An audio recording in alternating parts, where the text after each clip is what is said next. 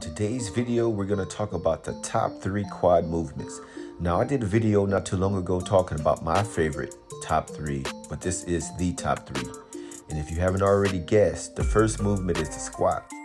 You see, the squat is a full body movement that strengthens not only the quadriceps, but the hamstrings, glutes, and the lower back. The next movement is going to be the leg press.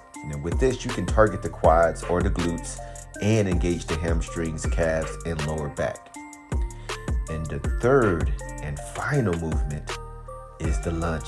Now, with the lunge, it works the quads, the glutes, the hamstrings, and the hips, making it a comprehensive exercise for the lower body.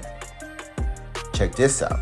You can do different variations. So right now, this is the reverse. Another variation is the barbell walking lunge with a split squat. So for every lunge you do, you do a split squat. And I'll tell you what, this right here is a game changer. So give these three a try. Leave a comment, let me know, you know, what are your top three? And um, yeah, I'll see you guys in the next video. Wow, I'm out. Can't take it anymore. Make sure you subscribe.